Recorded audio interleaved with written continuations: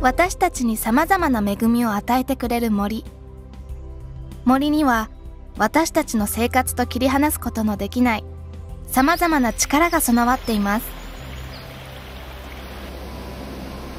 森はきれいな水を育み様々な生き物の住処を提供しキノコや山菜など山の幸を生み出す。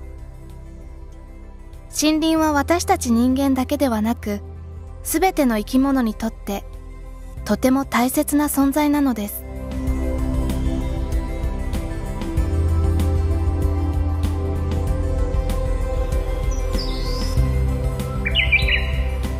しかし海外から安い木材が輸入されるなど森の循環が途切れることで日本の林業は衰退していきました。放置され手入れが遅れる森が増え森の力が弱まっています。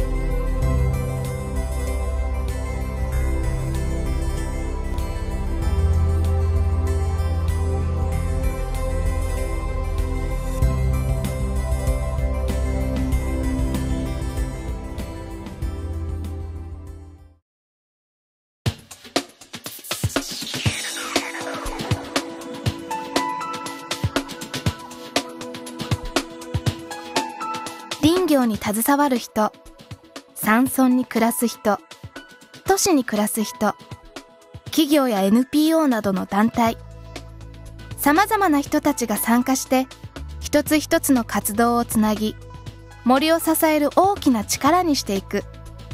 それがフォレストサポーターズです。森づくりの理想的なサイクルを取り戻していくために身近な暮らしの中で気軽にできる。具体的な4つのアクションを呼びかけています。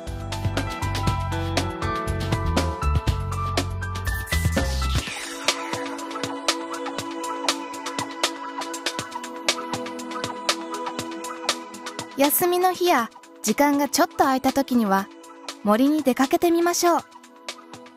身近な地域の森に親しみ森を学ぶことは森づくりの輪を広げる。大きな一歩となります。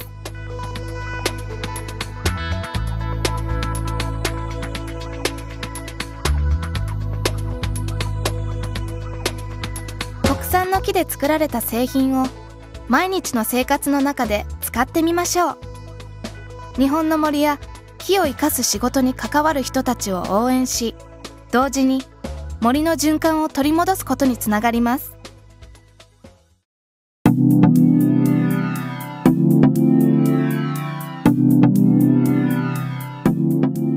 企業や団体などが行う森林づくりに参加してみたりふるさとの森の手入れをしてみましょう。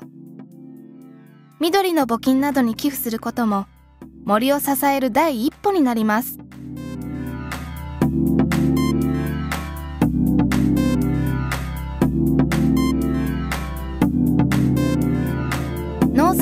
訪れてみて森と共に暮らす知恵や技に触れてみましょう。森を仕事場にした暮らしも注目が高まっています。農山村に人々が訪れると地域は元気になります。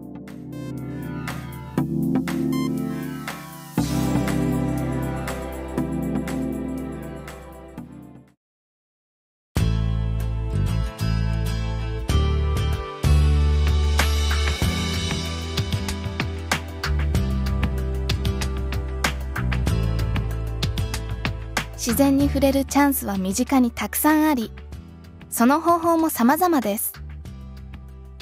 身近な公園にある小さな森でもちょっとした安らぎを与えてくれます。家やオフィスのフローリング家具や食器雑貨に木を使うと私たちは安らぎと心地よさを感じることができます。木を使うことで都市の暮らしの中でも人は気軽に自然とつながることができます。楽しみながらできることから一つでも実践してみましょう。一人一人の行動をつないで小さな力を大きな力に変えていくことで森とともに私たちの暮らしを豊かにしていく。みんなでフォレストサポーターズに参加してその輪を広げていきませんか？